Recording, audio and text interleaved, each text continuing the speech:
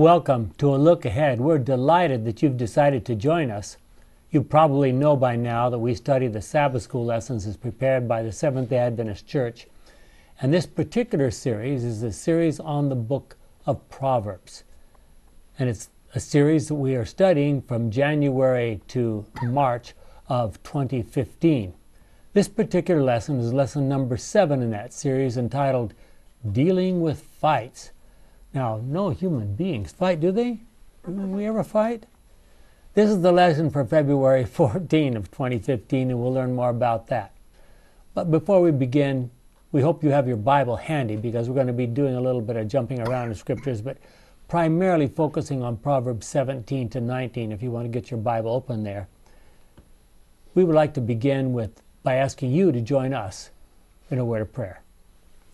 Our kind and wonderful Father, it's a great privilege to study your word, to have this inspired record to open easily before us in languages that we can understand, to compare one part of the scripture with another part of the scripture so easily, and now to look at the wisdom that was collected and put together and recorded for us by Solomon thousands of years ago. May we learn from that, is our prayer in Jesus' name. Amen. Amen what are our top priorities? Do we take that seriously? Do we really stop and think, okay, seriously, is my family more important? Is my bank account more important? Is my car more important or my kids more important? Think of all the people that, like, apparently the only thing they think about or can think about in, in their lives is worldly fame, power, pleasure, you know, wealth, something like that. There's an ancient Egyptian proverb that says, Better is bread with a happy heart than wealth with vexation. You can find that in a book on ancient Egyptian literature written by or, or put together by Miriam Lichtheim, The New Kingdom, Volume 2. So, what are our priorities? Let's be serious now. What are our priorities? Is having a good relationship with a number of friends and peace within our families more important than having a large bank account? What is the real basis of happiness? Do we know? Well, Proverbs 17 and 19, just to, to, to, sort of open up our discussion, look at Proverbs 17, verse 9. If you want people to like you, I'm reading from the Good News Bible, forgive them when they wrong you. Remembering wrongs can break up a friendship. We sometimes call that holding a grudge, right? And look at Proverbs 19:11 by comparison. If you are sensible, you will control your temper. temper. When someone wrongs you, it is a great virtue to ignore it. Hmm. Is that the way we're supposed to deal with problems? Just ignore them? No. Well, yes? No? No. No. Okay, that was a big, long answer. That's all it, that's all it needs to be Okay. said. So, at what point do we decide, okay, this problem that I've just observed is a foible and I'm going to look over it, or it's serious and I need to do something about it? How do we decide that? We, we certainly don't want to encourage people to go on sinning, do we? Well, maybe it depends on uh, how important it is to you. If something is important to you, shouldn't you deal with it? What if it what if it pertains to matters of matters of truth? Mm-hmm. Yeah. I mean, anytime someone's living a lie, that's a matter of truth, isn't it? Question about truth? Well, we have some biblical examples of people who ran into problems, and uh, you know, we've got Elijah and uh, Mm-hmm. on Mount Carmel, and we've got Daniel, and the lion's den. Yes. Shadrach, Meshach, and Abednego, three Hebrew youths. There's lots of times when uh, people didn't necessarily back away from from things where there were disagreements, especially in regards to things we refer to as as truth. Okay. Well, one of the ways that people, unfortunately, have tended to respond to um, foibles in somebody else is found in Proverbs 18:8. Gossip is so tasty. How we love to swallow it. there's, a, there's, another parallel uh, verse. It's found in Proverbs 26, verse 22. We'll come to chapter 26 a little bit later, but um, that's I'm going to have to cheat a little bit here. Give me just a second. If I can press the right buttons. Um, you got two instead of 22. Sorry, I can get down to 22 here just a second. Yeah, gossip is so tasty, how we love to swallow. Just to actually a repeat of the, the previous verse that we were looking at. So, what do we do? How do we deal with things like gossip? I once saw a cartoon showing two ladies talking over the back fence. The first one said, Have you heard? And she went on to, to tell the juicy tale. And her neighbor responded, uh, I'm sorry, I don't pass along gossip. Whereupon the first lady responded, So you're the bottleneck. is, that, is that the way we're supposed to deal with that kind of issue? It's interesting, and this is not in Proverbs, but in Romans 1, verses 28 to 32. Gossips are right in the middle of one of the longest lists of evildoers in the entire Bible. That ought to tell us something, right? What what is gossip? What's the? I mean, what? Isn't there information that needs to be passed along? Okay, so and and in difficult times. Depends on the gravity and whether or not it's slander or something dangerous or, or that kind of thing. Then you've got to do something about but, it. What, we're talking about something here that's juicy. What if it's true? what if it's true? yeah, what about that? Is, does, is truth qualify as gossip sometimes? I think it's more. Was it Dr. Pravach used to say you could let one gossip into heaven? Mm-hmm. But that would be hell for him because yeah. nobody would listen. yeah, exactly. Wouldn't wouldn't the wouldn't the difference between you know, I, th- I think sometimes there are difficult circumstances that you see that you may be involved in, um, and you, you feel like you need to communicate, but you're hesitant to do this in what would be a very legitimate circumstance, it would seem to me, because you don't want to be a gossip. You, you're torn between um, reporting information in a manner that might help to lead to a solution as a problem simply because you're afraid that you might become, you know, a, a gossip.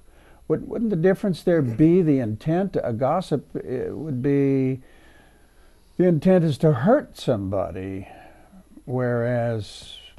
Not necessarily. It might be just a juicy story. Well, and, and I, I will tell you that as a health professional, I talk to patients every day and I hear lots of stuff that I don't pass along.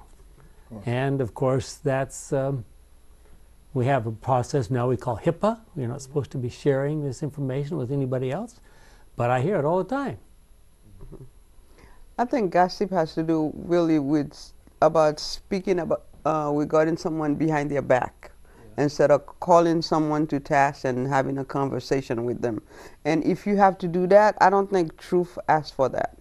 If I'm speaking the truth, I should be able to. Is I think it's best to just talk to the person. Maybe they can fix whatever is wrong or not wrong. But when gossip festers and a lot of lies get mixed with the truth, if there is truth, I try not to take part in it. yeah. Um, what do you think about this advice from Proverbs 17 17? Friends always show their love. What are relatives for if not to share trouble? Is that what you think about your relatives? Well, are there gossips within a family? Mm-hmm. Yeah, that's true. Question. Fair question. I think it comes down to sort of two basic questions. If it's trivial, you can ignore it and go for it. Otherwise, be diplomatic and see if you can turn it in another direction. Mm-hmm. I don't know. Well, I mean, let's be honest. you this might not be agreed upon by people standing at the marriage altar, but any two people who live together long enough, there's going to be some differences of opinion. And um, why is that? Well, it's because none of us is perfect. No perfect saints. I'm, I'm not not here on planet Earth. I know some of you might disagree, but um, probably it's true. to them. Yeah, we fortunately have two couples with us today. Um, we love our spouses not because they have problems or mistakes or flaws. We love them despite those problems, mistakes, and flaws, or whatever you choose to call them. And we need to recognize when we have a tendency to point out somebody else's flaws that we have a few flaws ourselves. Them So up. true love is not blind. Sinning and even making mistakes has consequences for everybody. So the Hebrew word, since we're dealing with the Old Testament here, the Hebrew word for justice, shalom, which means peace, it means a lot of different things, also means righteousness and includes ideas of love and charity. Real compassion means that we put our arms around the sinner but we expect them to improve. We, the, the purpose of putting your arms around a sinner is not, Jesus didn't say, okay, now you can go out and sin again. What did Jesus say? No more. No more. Go and sin no more. We have to keep the mote out of our own eye before you even look further. Yeah? Why do we have such a hard time uh, correcting our mistakes? because we're told to mind our own business. Okay. Um, Because if those mistakes were easy to correct, we, we wouldn't have the mistakes. I see. Again, this this we're studying Proverbs. Look at Proverbs seventeen ten. An intelligent person learns more from one rebuke than a fool learns from being beaten a hundred times. What does that tell us? I think there's a truth in that. The RSV says a rebuke goes deeper into a man of understanding than a hundred blows into a fool. Yes. Um, here's another version of that. Proverbs nineteen twenty five. Arrogance should be punished, so that people who don't know any better can learn a lesson. If you're wise, you will learn when you are corrected. Is that true? Well, Depends on whether my wife is correcting me or not. I see. Not if you're correcting your wife, but if she's correcting you, right? well, I, I don't think any of us would argue with the fact that the best example to follow would be Jesus' example. And it's very interesting that in the book Desire of Ages, in the early chapters, when he's still a young person, it says, even for to observe someone doing wrong was painful to him even to see somebody else doing something wrong was painful to him. Well, And those really probably didn't end up with, at least with names in his parables, did they? I'm sorry to say, who Tho- did? Those observations Oh, yeah. did not end up in Jesus' parables uh, Yeah. with the names attached to them. No, they didn't. No. Well, the the most obvious and the most widely known story about Jesus dealing with a flagrant sinner is probably the story of the Jesus dealing with the woman taken at adultery. We, that's what we usually sort of call it. And that's found in John 8, verses 1 to 11. Ellen White has some very interesting words to say about that parable or that, that experience. When Jesus forgave her, she expected to die from stoning right there on the spot. She was sure that all these saints that would, had trapped her were, you know, and so when Jesus started pointing out their sins and they started disappearing one by one, she couldn't believe it. You know, you can imagine she's, you know, what would you do if you were about expecting people to throw stones at you, you know?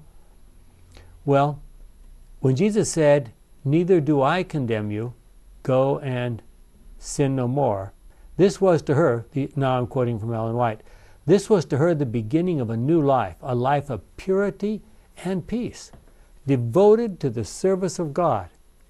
Now imagine, here's a one incident This woman has been presumably a prostitute or something like that for some period of time, or at least has been seduced into it at one time or another. And now, this one encounter with Jesus, and bang, she's a new person. In the uplifting of this fallen soul, Jesus performed a greater miracle than in healing the most grievous physical disease. This is better than cleansing from leprosy. He cured the spiritual malady which is unto death everlasting. This penitent woman became one of his most steadfast followers. With self sacrificing love and devotion, she repaid his forgiving mercy. And I think most of us probably heard at one time or another, there are, there are many people who believe that, on the basis of that comment, that this was actually Mary Magdalene. We don't know that for sure. In his act of pardoning this woman and encouraging her to live a better life, the character of Jesus shines forth in the beauty um, of perfect righteousness. While he does not palliate sin, nor lessen the sense of guilt, he seeks not to condemn, but to save.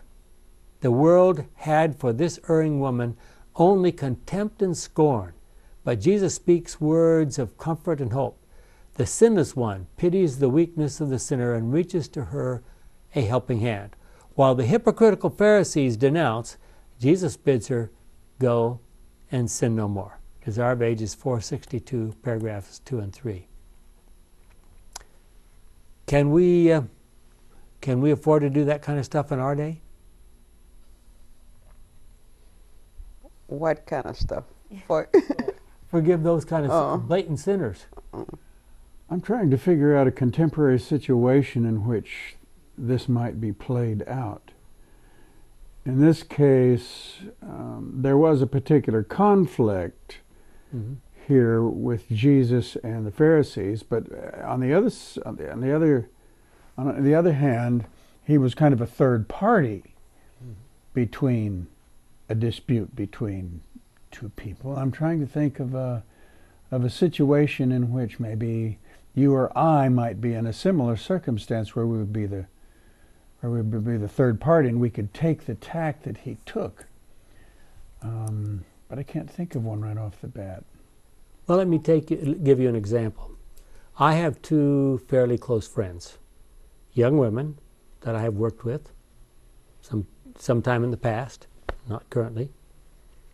Both of them had experiences where, and I'm not going to go into the details. I don't want you to try to trace anybody's story here, but got into affairs, either they or their husband got into affairs, and caused all kinds of havoc in their marriages. So, what do you do? I had a similar situation with two friends. Um, one was doing that kind of behavior, and then the other friend was always trying to counsel her, as we all were, that she shouldn't be doing that. And she decided to just end that. The, the other friend decided to end the relationship and just walked away. And I've tried to be her friend because I think that's the right thing to do to keep counseling her to Mhm. change. But I don't know if I'm lesser because I stick around than the girl who knew to walk away. Yeah. It's a challenge. I mean, in one case, this, this young lady is being just treated something awful by her still officially husband, but, uh, and this guy's carrying on with another woman, and the other woman has already had a baby as a result of this experience. And I mean, what do you do? Say, that's fine, it's okay, just carry on? How, how, uh, it seems to me, um, I think most of us have read instances of where there's been a murder. Somebody's murdered somebody's child or wife or husband, and then out of that has grown jail ministries here and there. Now, Mhm. that to me is the ultimate. Yeah, that would be a, a wonderful experience out of something that turned out really bad. Given the person that did the deed, Yeah. that even got them around to thinking about all that. I mean, that, that's Well, the maybe the classic example of this, it's an old story now, is the story of Harry Orchard. yes, yes. That Definitely. killed a governor in Idaho and was in, in jail, and then the governor's wife started ministering to him, and other people tried to minister to him, and there he was, life sentence, and he became a great Christian example and and uh, so forth in the jail. Is there is there a, a parallel story? The story of, of um, at at Simon's house Mm-hmm. when Mary comes and kind of complains about. Uh, I mean, Martha comes and kind of complains about Mary, and Jesus is in the middle here. Is there a, a similar um, um, pattern of, of approach on Jesus' part here with with this in a in a way, a way he ameliorates this, or here we have two sisters. I mean, it's certainly not nearly the the dramatic and, and death-defying situation, Yeah. but um, Yeah. Well, Proverbs 18, one of the next chapters we need to talk about because we could spend a lot of time on this subject we've looked at in Proverbs 17, but we have some more chapters to talk about. Proverbs 18 focuses a lot on the use of words and all that that implies and how you can do wonderful things with words and you can do awful things with words. Um, unfortunately, it's often true that fools speak before they think. It's better to think first, probably. Does It's- that make most of us fools? I wasn't Because trying to be quite so because we personal. speak before we think, or at least It's- before considering all the implications. It's just, it's an interesting coincidence that in the English language, the words listen and silent are spelled with the same letters. Yeah. I don't, I don't know if that that was intentional or not, but uh, it, it's very interesting. 18.8 here. The words of a whisper are like delicious morsels. Yes. They go down into the inner parts of the body. Yeah. Okay, look at Proverbs 18:4. A person's words can be a source of wisdom, deep as the ocean, fresh as a flowing stream. Now that would be good words, right? Um, what makes some words, or why are some words or some expressions, some ideas considered to be wise and others considered to be foolish? And, you know, we talk about, we, we know that the characteristic of water, if you, if you watch streams, if you like, like watching rivers and so forth, at the places where they run deep, they seem to be moving slower and they're, they're, they're narrower and they, they don't seem to be doing a lot. And the places where they're, they're fairly shallow and they're running over the rocks and so forth, they look, they look, you know, dangerous and all that kind of stuff. Does that tell us anything about human behavior? Proverbs here is talking about deep waters running quietly. Um, do we always think about the consequences of our words before we speak them? No. Are you trying to speak out of experience or what? Yes, yes. Not only that, it's the delivery too. Yeah. Yeah, the way you say things. Because I've said things and then later thought, oh my God, Yoli, why did you say that? Well, look at Proverbs 18. Now we're looking at Proverbs 18. Look at verses 20 and 21. I'm, I'm reading from the Good News Bible here again. You will have to live with the consequences of everything you say. My wife reminds me every once in a while of something I said a long time ago. what you say can preserve life or destroy it. So you must accept the consequences of your words. so what's wrong with that? Is that saying never speak up, or I hope not. Well, but but it's an old and but very true adage that there are always two sides to every story, at least two sides. Sometimes there's more than two sides. Um, look at a couple more verses. Proverbs 18, verse 2. A fool does not care whether he understands a thing or, not. All he wants to do is to show how clever he is. And if you go down to verse 17, it says, The first to speak in court always seems right until his opponent begins to question him. You know, I don't know how many of you had very much experiences in courts, but it's very much like that. You know, you hear one side, well, man, oh yeah, obviously this, yeah, oh, Right. but Sorry, my question is on 18.7, a fool's mouth this is his undoing. Yeah. Why does it seem that politicians, media people, they all have a following when Yeah. they say foolish things? Good question. Masses are have a short memory. And they want to hear what they want to hear, and they're not concerned about truth, really. They're, they like promises, empty promises. Yeah. It's human nature. Fools. Would it be fair to con, to define a fool as someone with a closed mind and an open mouth? Like a deadly combination, right? Certainly is the start of it. Well, the wise people are those who are willing to listen to other people's opinions and consider them carefully before responding. Only God doesn't need a second opinion. Um, is, is it hard to develop that kind of a character uh, trait? To listen before we jump into conclusions? I think it's especially hard with those that are the closest to you. I see. Who are you referring to? I think it depends a little on personalities too. Yeah. You know, we've been studying or uh, reading about gossips, which is many times maybe things that are not true. Uh-huh. And yet somebody, that those, those stories keep being perpetuated. How about God? Mhm. Isn't he been a victim? And to, Yeah. to the detriment of everybody, or the majority? Because of the false, and people go to the mat for a false concept of God. I mean, wouldn't it weren't the, the, the words of Satan in heaven basically gossip? Yeah. Yeah. That's what how the the great says. controversy got started. Yeah. Of course, God could speak up more frequently. But, He uh, doesn't want to overpower us. but um, Oh, I have another. why, I, I often think about why, you know, and I think people expect that. I think, I think people expect God to come down and do miracles for them, or, or those of us of our faith. Sometimes we think, why doesn't God come down and, and, and, but you know, Set he, things straight, right? That's right. But you know, he has been down here before. He's done some dramatic things. I mean, the flood was a pretty dramatic thing.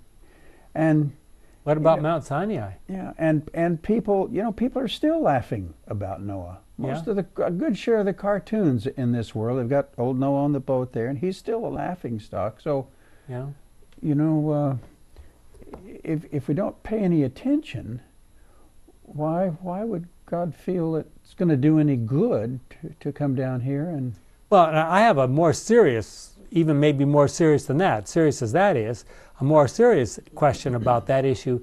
If God says, I mean, I've asked people, okay, how would you like to have maybe 10 minutes every week? And you know, this 10 minutes is just for you. God is going to come up and come down and appear in person, and you've got 10 minutes with Him every week. Sound like a good idea? Okay, what would you think if the, the devil demanded equal time? Mm. No? You're not too excited about that possi Don't you think the devil would demand equal time? Sure he would. Well, you know, when we have this book here, Mm-hmm. and Yeah. we've got it's all right here. Mm-hmm. So, That's why it's Why- safer why- to have it in that you form. know, why why do we why do we sometimes feel that we need something else when there's so much? hmm It's not such an overpowering presence of God when it's written in front of us instead of Him face to face with us. Yeah. Well, maybe that's maybe that's what we're for. Maybe we're supposed to, you know, maybe humans, maybe the good people are supposed to be a little better than they are. Maybe they're supposed to Now be. there's a thought. That's what God has to use is people. Maybe maybe we're the instruments here, and of course I don't know where I fit in there, but Have you ever been absolutely certain about something only to find out later you were wrong? Oh yes. never. You've all probably heard the joke about the guy said, "Yeah, I, I, I, I made a mistake once before. I remember back in 1935. I, you know, that kind of nonsense." Well, what does it teach us about judging others prematurely? Here's a story that was included in our Bible study guide. That's an interesting one. A king needed to appoint a new minister to the highest office of his kingdom. For this purpose, he organized a special contest on lying. Who could utter the biggest lie? You know, I don't know if people wouldn't even be aware of such things, but there are there are actually contests every year to see who can tell the people You know, I think they even get into Guinness World Book of World Records. Who can tell the biggest lie, the farthest out lie? So here, this guy is having a contest in lying. All his ministers applied, and each one came and spoke their biggest lie. But the king was not satisfied. Their lies seemed lame. The king then asked his closest and most trusted counselor, Why didn't you apply? The counselor answered, I am sorry to disappoint you, Majesty, but I cannot apply. Why not? asked the king. Because I never lie, the counselor replied. Guess who got the position? yeah, sinners, lying comes to us easier than we think. For this reason, again, how careful we need to be with our words.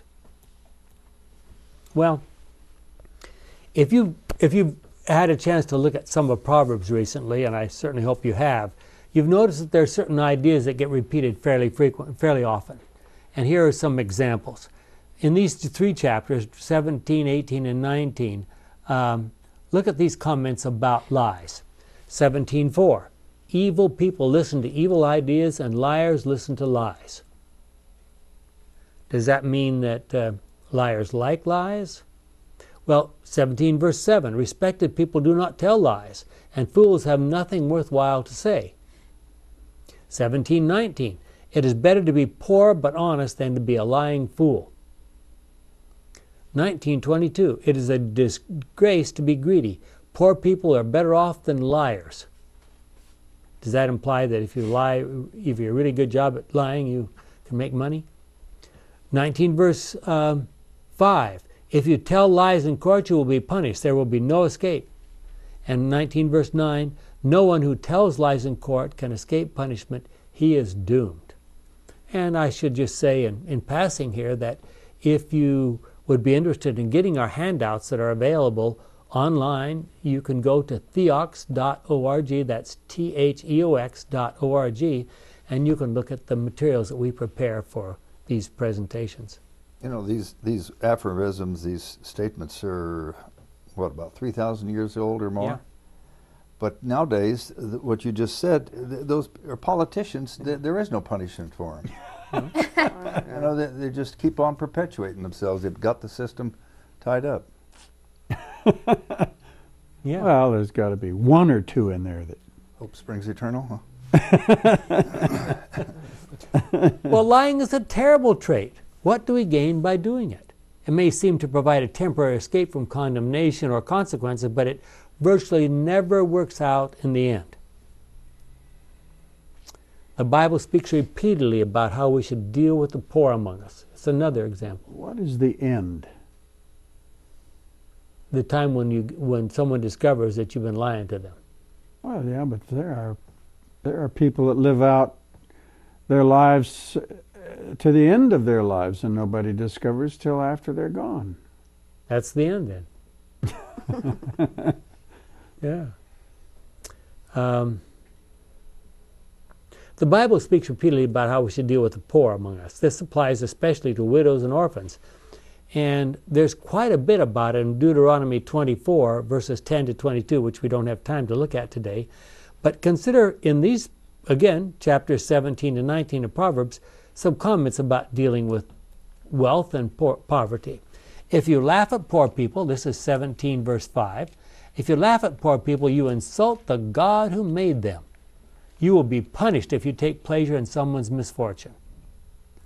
Rich people are always finding new friends, but the poor cannot keep the few they have. Has that been your experience? Rich people, however, imagine that their wealth protects them like high, strong walls round a city. Is that true?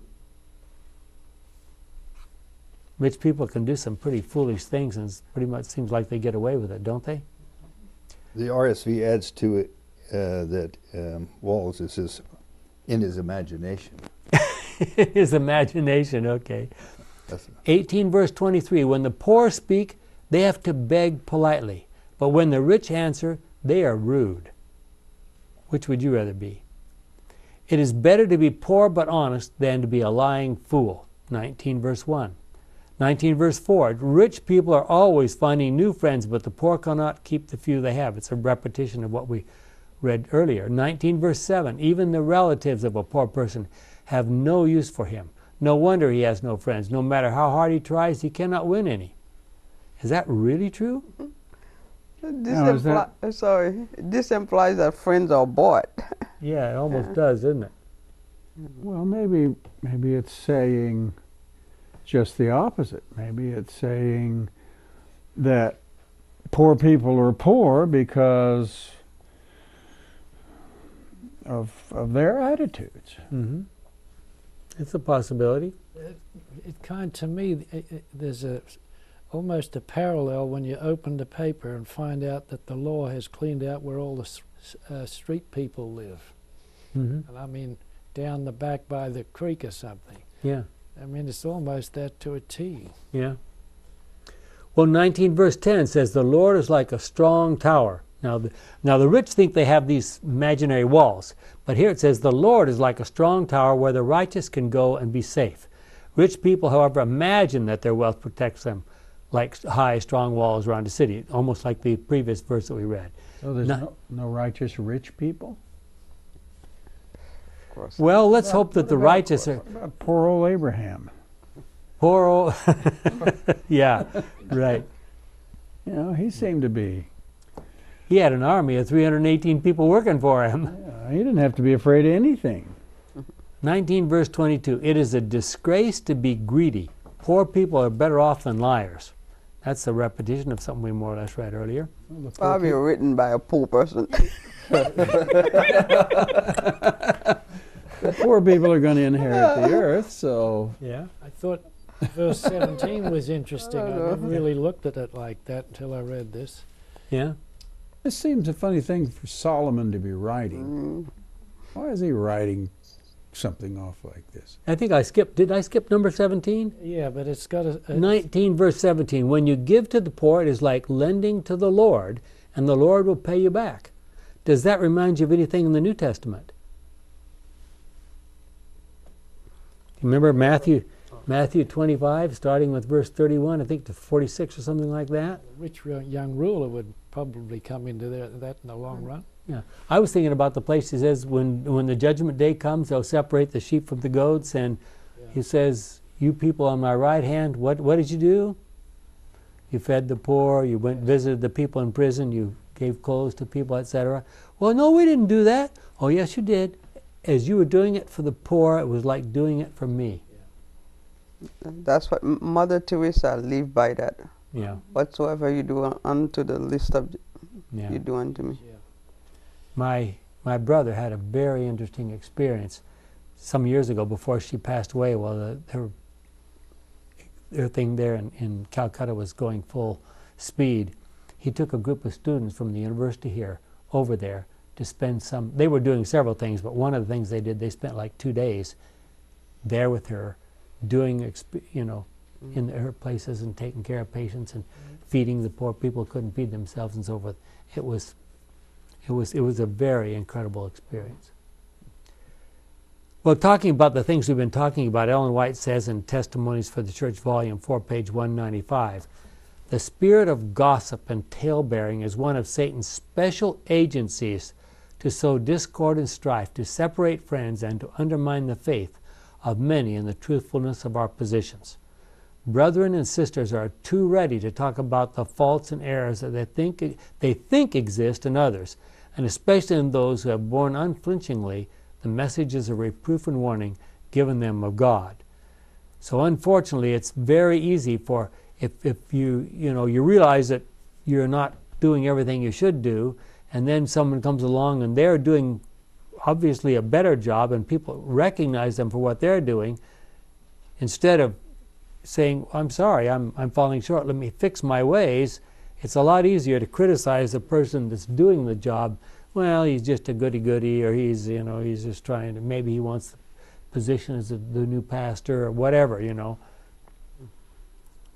Well, the children going on. This is now um, Testimonies of the Church, Volume Four, page 195. This will be the next paragraph. The children of those these complainers listen with open ears and receive the poison of disaffection. Parents are thus blindly closing the avenues through which the hearts of the children might be reached. How many families season their daily meals with doubt and questionings? They, they dissect the characters of their friends and serve them up as dainty dessert. A precious bit of slander is passed around the board to be commented upon not only by adults, but by children. In this, God is dishonored. Jesus said, and here's our verse Inasmuch as ye have done it unto one of the least of these my brethren, you have done it unto me. Matthew 25 40. Therefore, Christ is slighted and abused by those who slander his servants. Testimonies for the Church, Volume 4, 195. Now, slander, is that telling uh, things that are not true, or is that telling Presum- things that are true? Presumably, slander is telling things that are not true. Probably mixed with a little bit of truth, just to make Usually, almost always, the devil's scheme is to mix in a little bit of truth. Make it palatable, hmm make it believable. Deception. So now, honestly, how do we deal with problems we detect in our families, our friends, our spouses? We pretend like they never happened? There are no problems in my spouse. I see. Well, Good answer. yeah. I Well, would say that you you cannot do anything for that person without the help of God. You- Okay. You, have to take it to Him to help with direction that you go. So you're not going to speak at the first opportunity. hmm If you pretend, if you know something that somebody has done that was bad, and you pretend like it never happened, are you encouraging them to continue that bad behavior? Could be. Again, it's the gravity of the situation. A little kid does something, walks off with the cookie, you're going to teach him something. If you know uh, the church treasurer is pocketing something, that's a whole different deal. But that's may, maybe that's the way he learned it. Does God treat us as if we had never done them? Well, I suppose there's two ways to look at that. Obviously, he's willing to welcome us home if we're willing to give up our evil behaviors. Um, but he knows that they have it has bad consequences, and he points out repeatedly in scriptures that you know you, you have to live with your the consequences of your behavior. So I guess there's sort of two sides to the answer to that question. Um, one of the problems that plagues our world is divorce. Ma- Malachi 2:16 says that God hates divorce. Why do you think that the divorce rate among Christians and even among Seventh Day Adventists is virtually equal to the divorce rate among in the world? Does that is that is that say something about how we go about choosing our partners to begin with? I think I think there's an uh, there's an area for that, and I think our standards have been eroded here and there too. Not So only we, we, we, we have to have across the- higher standards for the people we marry. No, Not no, for no, us, no, but no, for the no, people no. who I'm, I'm talking No, I'm across the teasing. board, across the board, non-believers, and I'm talking Christians generally. I think, even with non-believers, you, you think back 60, 70 years ago, there was less divorce. Now, th- probably were a lot of folk, particularly women, got abused terribly. It was Yeah. never out in the open. Yeah. Well, Malachi says that God hates divorce. Wasn't it Ezra that separated some spouses? Well, and if you go back and look at the Ezra story, what does it tell you? It says here are here were women coming from these surrounding nations. They were marrying Israelite men. And it turns out, and it says this specifically, if you wonder what kind of education their children were getting, it says their children couldn't even speak Hebrew or, or Aramaic for that matter, which was probably the case in, in, in Ezra's day. So, what kind of an education are they getting? Are they getting an education from their fathers who speak Aramaic? Or are they getting education primarily from their mothers who are pagans? Pretty clear, right? Yeah. I think that's why Ezra did Hebrew. So, under those circumstances, divorce is the appropriate way to go. If you were if you were back before the the flood, where it says the sons of God, which were the descendants of Seth, saw the daughters of men that they were beautiful, and took the ones they liked. And you saw, if you if you could see from God's perspective, and you could see the trend of what's where things are headed, would you say it would be better for them to break up those marriages or continue with them? Or to not have started them. Have the Well, obviously, not to start them to begin with would, would be started. So the question is, uh, and uh, when you boil it down, is is a divorce legitimate in some circumstances? Well, I, I don't think there's any question about that. Uh, and of course, if you say it's legitimate in some cases, then where was the problem back at the beginning? You're going to get us killer. in trouble here. We won't be on TV anymore. Some of the people back in Washington D.C. hear this. No, no, no. well, is it possible? Don't anybody speak about your own experience. Is it better? Is a better indication this whole divorce issue? Is that a real? Is that a better indication of how selfish we tend to be? I think there's certainly room for that. Well, going back to your illustration of uh, of the um, of the of the evil women, the evil wives here. Um, if if if and this is something confusing to me. We often say back then, well, men, women were nothing but chattel. They didn't have any control or anything. So, if the good person in the marriage had absolute control, then you could solve those problems. Maybe Theoretically. theoretically. So Well, the devil had that idea in mind when he tried to kill all the all the Israelite baby boys in Moses' day, didn't he? Because he was, as far as he was concerned, if the girls are forced to marry Egyptian men, what's going to happen? Going to go that way.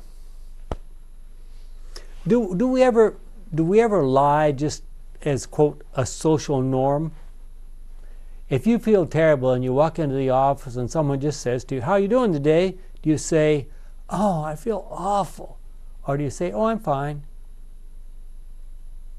You want to break off conversation, or you don't want to get into conversation. I think it's just just comes out. So it's all right to lie if you just don't want to get into conversation. and then you hack and cough and what are you supposed to say? It's none of your business. well, I mean, this is the question. I think uh, that's where I think there's a shade of meaning here and there. If you've got something, for for example, there's a woman going getting s- uh, some treatment for something that is purely feminine. She doesn't need somebody peering down into that and answering, "No, I've got such and such and such and such." Yeah, Ditto for men if it comes to that. yeah, yeah, uh, yeah. Well, look at Proverbs 19 now, verse 3. Some people ruin themselves by their own stupid actions and then blame the Lord. Can you think of an example how that might happen? well, almost anybody that, well, this would be my perception. Almost anybody that is in a tight spot and they're wondering, you know, where God is and why He hasn't. Done something. This isn't. Well, I'm going to say something about. Would, Nevertheless, I'll, I'll pass on that. Okay, would Saul have come under that? maybe. He sure had some warning, didn't he, and went against it. You know, that ultimately, there's not anything befalls us that it's our fault. Um, Well, let me take you a medical example, okay?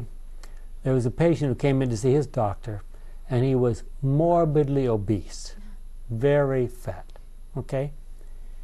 And when the doctor tried to gently convinced him that he needed to reform his ways, he said, Oh, but doc, obesity just runs in our family. Yeah. And the doc says, You know, the truth is that nobody runs in your family. That was good. it's true, you hear I that. like that. So, that, you know, or does any other exercise for that matter. or for that, exactly. Like that.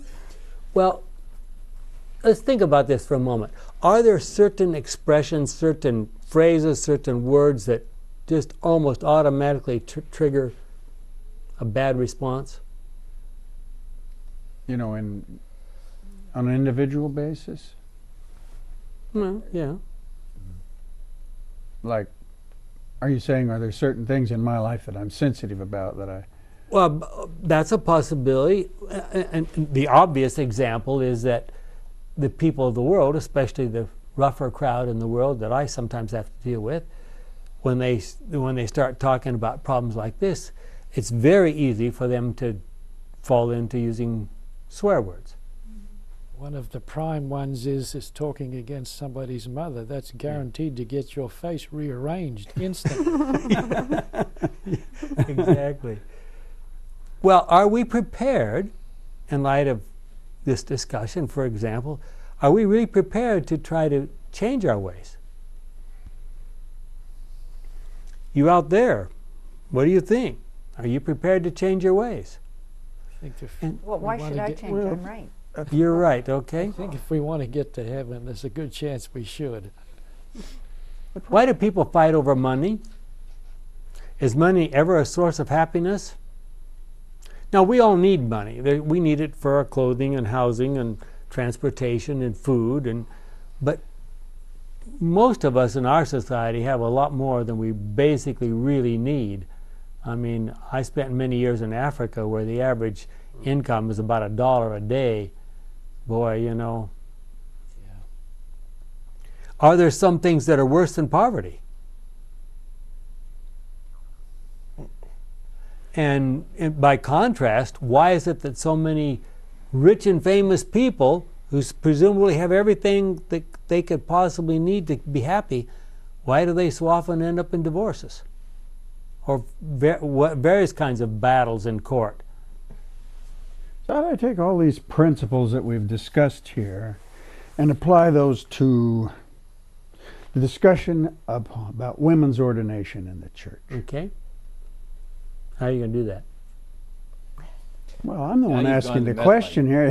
That's right. I, um, are are some of these things that we've discussed are they going to manifest themselves as we as we attack this this uh, Problem. This, uh, this yeah this this Issue. situation that we This are issue. facing here It's touchy issue. about gossiping, for example. Am I going to be tempted to say, "Oh, that old bag over there, she's this, that, and the other," or that old Yes? that old conference president, he's just an old male, this, that, or the other, and so on and so forth. And And what do we do when we get into this? When we, we get into a discussion with people that are obviously don't agree with us on certain issues, we try to tear them down because we think by tearing them down it makes our argument sound a little better. Is that a good plan? It just uh, joins Satan's club, doesn't it? Yeah. If we don't watch it. Well, how many of our troubles, to be honest now, how many of our troubles tend to be self created? Do we take full responsibility for everything we say and do?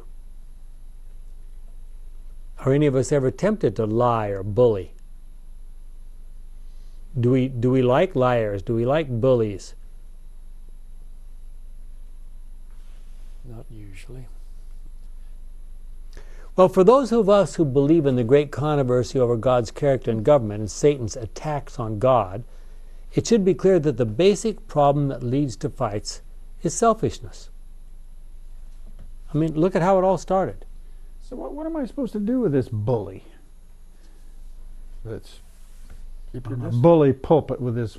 Yeah. uh, We mentioned women's ordination. What, how am I supposed to respond to that? And they seem to be winning. How They do I- are. how do how do I what do we what do we do about that? Well, Using these all of these Sometimes, these guidelines here. sometimes I think we need to refocus. There are other basic areas of salvation I think may be a bit more important than that. But that's just my yeah. Um, well, there's one pr- approach that I almost guaranteed will work eventually, and that's wait till the next generation comes along. but uh, that's Well, pretty slow. there's a lot of African Americans in this country that say we've been doing that generation after generation after generation. I, th- Well, I think we've got to make allowances for other other countries and other other customs. We've been too hard nosed on some of this. hmm Uh, when you analyze it, women supported Christ pretty much during his ministry. Very the much very so. least. But probably Martin Luther King Jr. was the most effective. I mentioned the African American Mm-hmm. struggle. And look at the tactics that he used, which were Mhm. totally peaceful tactics. Mhm. I mean, that would appear to me. Yeah. Well, let's let's let's try to summarize since we're we're about to run out of space time here. Proverbs 17 talks about good words that build relationships, evil words that destroy relationships, and the cause of those evil words. If we go down to chapter 18, it focuses on it has little groups of, of two or three uh, of verses that that fit together, and usually the most important one is the one in the middle. Proverbs 19 talks about virtues extolled. What kind of lives do people live that are honest, patient, educated, willing to forgive, and have good marriages? Wouldn't that be a recipe for success? In light of what we have read in Proverbs 17 and 19 and studied in this lesson, why is it that there are so many people in our world still acting like fools? Should I mean, as we grow up, shouldn't we learn how not to be fools? How many people are sacrificing even their lives for wealth, status, and secu- security and power? I mean, you wonder some of these people who blow themselves up, what do they think they're gaining? They're getting a name for themselves. Some, some apparently do these horrific things just to get their names in the news.